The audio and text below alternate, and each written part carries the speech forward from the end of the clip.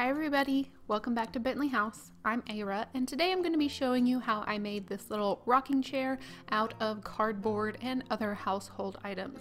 Thank you again to Paula for making the digital files that you guys can find in the description box below to help you follow along with this tutorial. This one goes along with my bedroom suit tutorial, so if you want to check that out, I will have the link to that video in the description box as well. To get started, you're going to need the pattern and you're going to need to cut out the pieces as marked. So this first one is out of one layer of cardboard. The second piece here is two layers of cardboard that are glued together. This third one is made from one layer of chipboard, and I have the definitions of these materials written on screen for you. And this piece is also made from one layer of chipboard. The next two pieces are made from cardboard and make sure you check on the pattern the way that the corrugation is supposed to run so that the pattern works correctly. Make sure you use a sharp knife when you cut these out. There are several pieces of long chipboard rectangles and just make sure you cut them out according to the pattern. You will also need several Q-tips or cotton swabs, and you may not need all nine, but it's good to make sure that you have several um, just so that you have enough to finish the pattern. And as an option, you can also use a piece of paper towel that has some kind of pattern on it.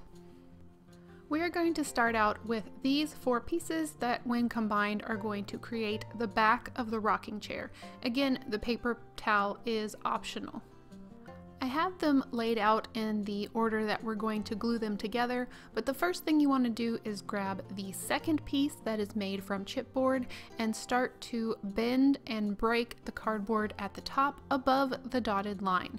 This is because I am going to kind of curl this piece down and create a I guess it's more, it's like a curved back to the rocking chair. This is just an extra little detail that I think gives the piece some interest. I curved it over a pencil first, and then I'm using my fingers to roll it down into a very small curl. Once I have it how I like it, I'm just going to add a bead of hot glue and then push the cardboard onto itself so that the curl holds. If you don't think you want the curl, all you have to do is cut that top section off. Here's how it looks when it's finished. This piece is going to sit on top of the cardboard piece and the bottom of the curled piece should line up with the dotted line you see on the pattern. There's a line right there and that should stay open so that you can add glue for the seat of the chair. I'm now going to add the chipboard piece onto the cardboard piece making sure that I have it all lined up. I am also going to add some glue right underneath the rolled piece and push it onto the cardboard piece so that it's all connected. I'm now using the cutout chipboard that has the little decoration in the center to mark out where I am going to have to put my paper towel. The paper towel is going to be kind of an inlay and so the only reason I marked where it was is so that I made sure I could see the inlay through the piece that I'm going to put on later. I'm putting on quite a bit of glue here because I want it to hold the pattern in the paper towel. This doesn't quite work out in the end. It might work with some other types of paper towels, but for mine it does wrinkle. I thought maybe adding a lot of glue would it would kind of hold its shape and not wrinkle, but it does wrinkle in the end and I'm still okay with it. You might be able to find some kind of pattern paper that would work better for this, but since I'm trying to use household materials, I thought I'd try it out with a paper towel. Once I have it glued down, I can cut off the excess so I don't have any paper towel hanging over the side. Now I'm going to take the decorative piece, add some glue, and glue it on top of the paper towel. This is why I made a pattern with it earlier to make sure the paper towel went all the way on all the sides so that it would be covered up when I put this piece on at the end. Once it's glued on, you will see that there's a slight gap at the top and we will smooth that out a little bit later with some joint compound. The bottom of this decorative piece that's on the very top of the paper towel should line up with that dotted line at the bottom just like the previously rolled chipboard piece did. The reason for this gap, this is where we are going to glue the seat of the rocking chair. I'm just adding a little bit of hot glue and then the seat should fit perfectly right in there and this is creating the bulk of our chair already. I am holding mine at a slight angle while it glues just to give it that lean back look. Now I'm going to be creating the arms. For this, I'm going to need one of those small pieces with the corrugation in the center and three Q-tips. I'm going to cut off the cotton swab part of the Q-tip and for this I'm using my easy cutter which I will leave a link to in the description box below if you're interested in one of those. You don't need one to complete this project, you can just use an X-Acto knife. I am now looking for the three centermost corrugation openings in this arm. Now I'm going to be adding a little bit of glue and inserting the cutoff part of the q-tip into those openings, making sure that it lines up with the top. This is starting to create the arm of the rocking chair. I'm going to let that dry and then add another bead of glue into the next available opening that's on the same side of the corrugation. So it will look like there's a spot in between um, but you can kind of play around with it and decide how far apart you want your supports. Once you see how it goes together, you can kind of adjust this design to your own liking. Once I have all three pieces inserted, I take the nose of my glue gun and run it over the top to make sure that I don't have any glue sticking up over the edge. Now I want my arm of my rocking chair to be about an inch tall, so I am going to cut off the Q-tip pieces at an inch from the top of the arm. I wrote on your pattern how much you need to cut them uh, from the very beginning, so you really won't have to follow this step if you pre-cut your Q-tips, um, but you can do it any way you want. Now I'm checking it against the body of the chair and I'm trying to figure out how far I want my arms to stick out. So where my thumbnail is, is where I'm going to cut it off. I'm going to make sure I make two of these as close to each other as possible so they look like a matching pair. The next step is to take the two chipboard pieces that are in the arm section of your pattern. Mine is just one piece because I'm cutting them to size. Yours should be sized correctly on your pattern if you follow similar steps like I do. But what you're going to do is put that on top of the arm, so on top of the corrugation, away from the supports, and you should have a piece sticking over the end. What we're going to do with this is roll it up similar to the way we did on the back of the rocking chair. This is kind of finishing out the design and making our rocking chair look a little fancier than it actually is. Once I'm happy with how it looks, I'm going to add some glue to the very top of the arm, glue down the chipboard piece, and then I can re-roll the curl on the end and then glue it to the very end of the armchair so that I have basically a curl sitting right on the end of the arm. I eventually will be filling this with joint filler so I don't mind that I can see through the roll at the moment. I'm also adding a little angle on the back of the arm so that it angles in towards the back of the rocking chair.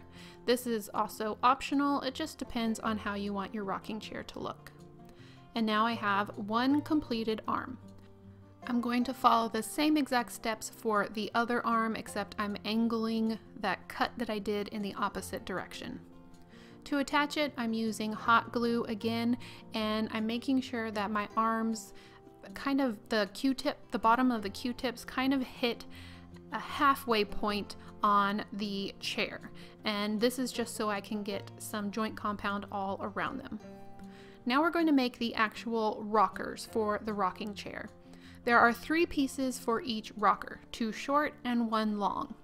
First you want to glue the two short pieces made from chipboard together, and then you want to glue the one long piece on the bottom.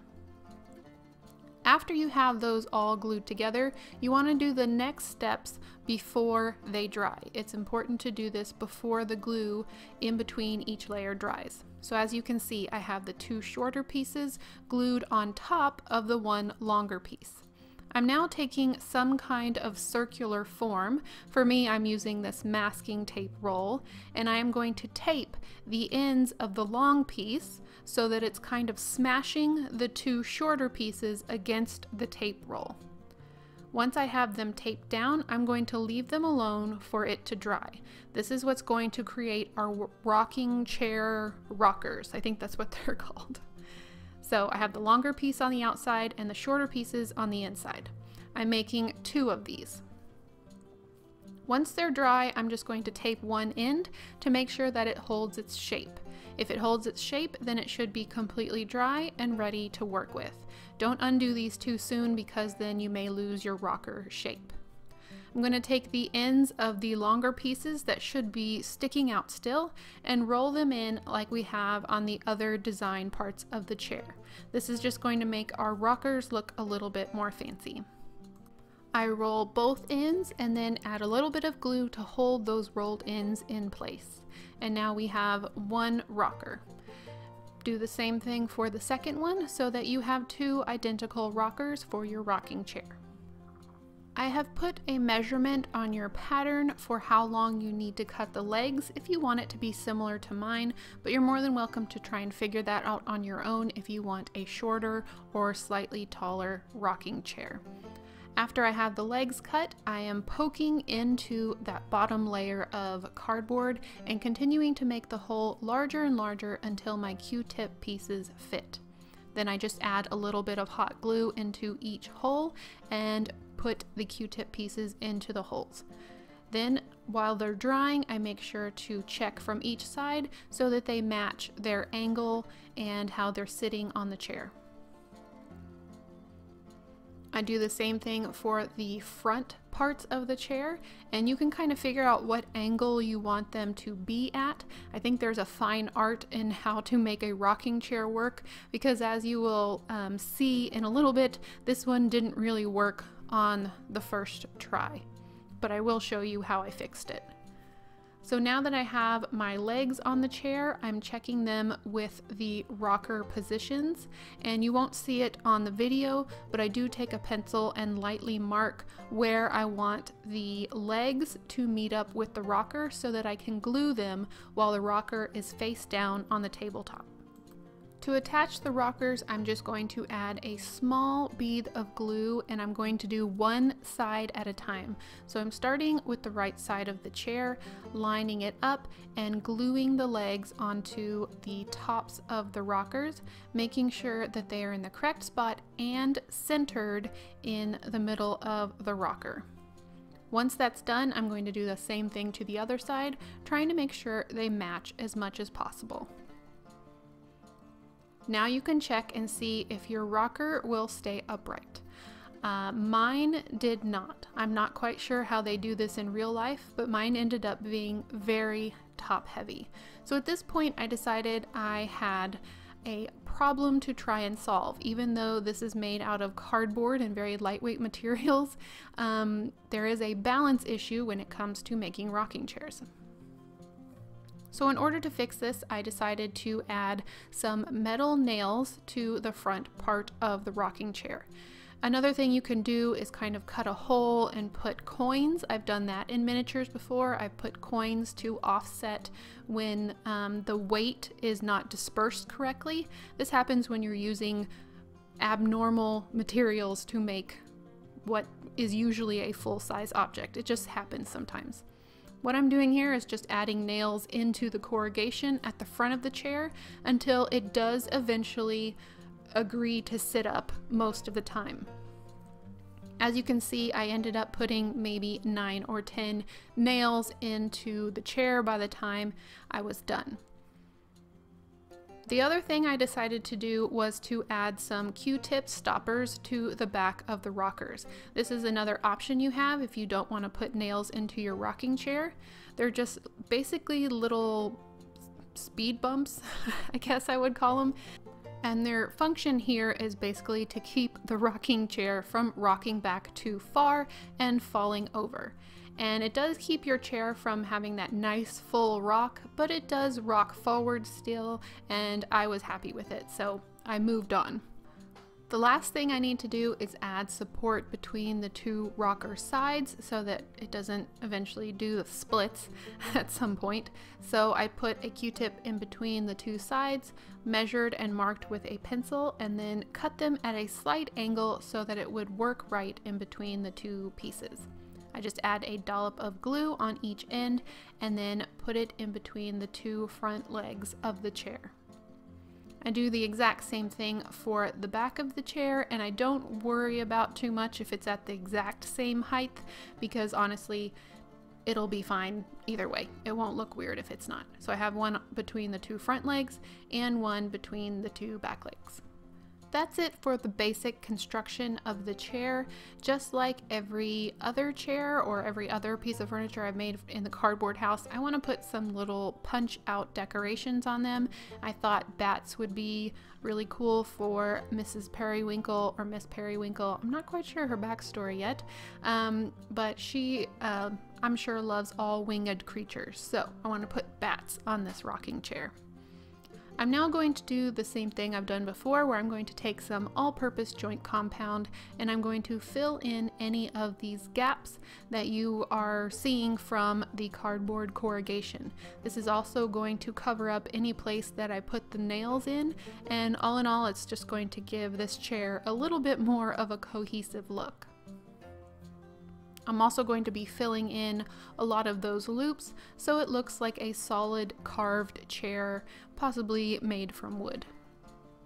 I'm making sure to be really careful around the arm supports and get all around them so that they look like they're integrated into the chair. I also made sure to go over this gap that was created at the very top of this chair so that it all looks smooth. Once the joint compound's dry, I'm going to give it a really good sand before moving on to the next step. If you've been following along, you know that what I call the mixture is actually a mixture of joint compound that I'm using now, plus Elmer's glue or some kind of white PVA glue. I do a 50-50 mixture, but if you want it more thick, you can add more joint compound. If you want it more thin, you can add more of the glue. I've found that using a paintbrush makes the mixture go on in a really thin coat and it is helpful because you get to see a lot of the detail that we created with the punch outs. It's this step that's really going to strengthen our little chair that's made out of cardboard and paper products and um, I just really like following this process. As you guys know, it's what I've done from the very beginning on the house and it's even translated really, really well to the furniture. Make sure to get all over everything and I end up doing two coats of the mixture on this chair. I'm going to paint this piece to match the bedroom furniture even though the bedroom is um, it may be not in the bedroom, but I think a rocking chair is a great thing to have in your bedroom. So I'm painting it to match that set. My painting process for that was a base coat of black and then another coat of brown. This makes it a very, very dark chocolatey brown. And then I do a dry brush of a lighter brown on top of that to give it some wood grain look and maybe even like an aged look to it. It's after that step that I decide how I'm going to paint the paper towel piece. Now up to this point the paper towel had kind of kept its own pattern and I was thinking this was going to work, but it's during this step that it really starts to wrinkle. What I do is I paint it with a base coat of brown and then I dry brush a lighter tan on top of it. Here you can see the wrinkles. Like I said, um, I'm okay with it. I, I actually like how it turned out, but you might be able to find some pattern paper that would work better.